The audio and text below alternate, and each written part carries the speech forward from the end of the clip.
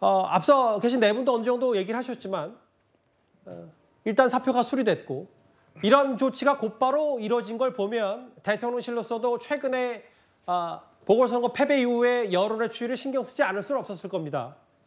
그런데 최근 여권에서 자주 등장하는 인물 하나가 있습니다. 바로 화면 만나보겠습니다.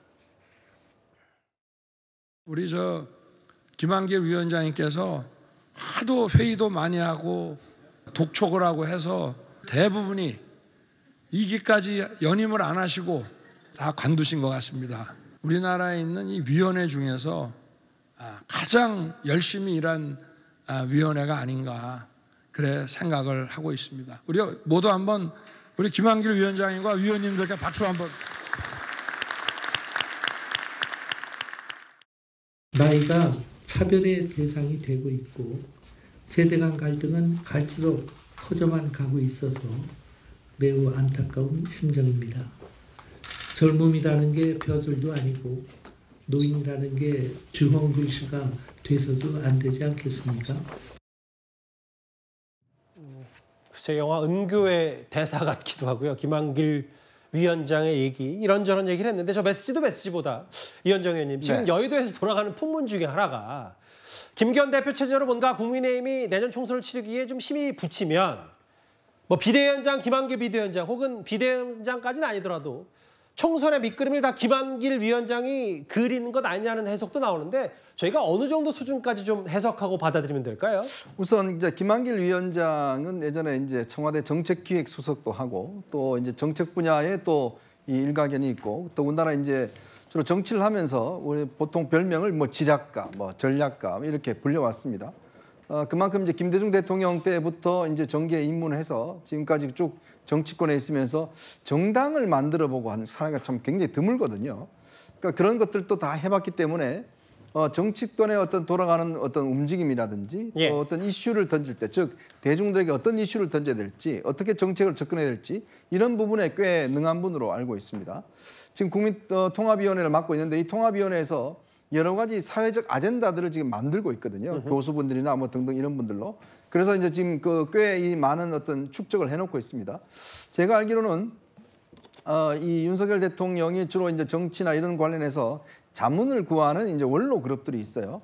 그 중에서 김한길 위원장을 가장 자주 만나는 걸로 알고 있습니다. 자주 만난다 대통령이. 네, 자주 만난다는 거는 그만큼 이제 김한길 위원장이 이야기를 귀담아 듣는다는 이야기 아니겠습니까? 이제 그래서 아마 최근에 이제 김한길 위원장이 뭐 이렇게 전체적인 이 정치권에 돌아가는 것, 여권의 쇄신 문제라든지 총선 문제라든지 등등에 대해서 누구보다도 이제 현실적인 걸 잘 알고 있기 때문에 그만큼 김한길 위원장이 제시하는 여러 가지 안들이 어, 실용화될 수 있다 이런 판단을 하는 것 같아요.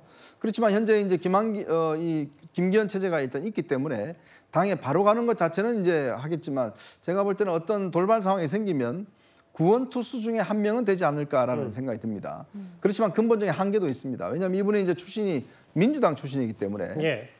민주당 출신에서 이제 당시에 이제 그, 어, 안철수 의원하고 함께 하다가 이제 떨어져 나온 그런 경험이 있기 때문에 과연 이제 그 국민의힘 보수 정당에서 어, 보수적인 지지자들이 함께 이 어, 지지해 줄 것인지에 대한 문제. 또 하나는 본인 세력이 없다는 게 문제일 겁니다. 그렇죠. 당내에서. 그렇기 때문에 어떤 한계점이 이제 분명하고 또이 너무나 윤 대통령과 어떤 뭐이 윤심이 작용한다 이런 또 부담이 있을 것이고 그런 장단점이 있기 때문에 아직까지는 좀 직접적으로 등판할지는 좀 더 지켜봐야 될 것 같습니다. 다만 이제 앞으로 김한길 위원장의 행보까지는 좀 유- 주의를 지켜봐야 되겠군요. 이제 돌발 상황이라는 게 또 어떤 변수가 있을지 모르니까.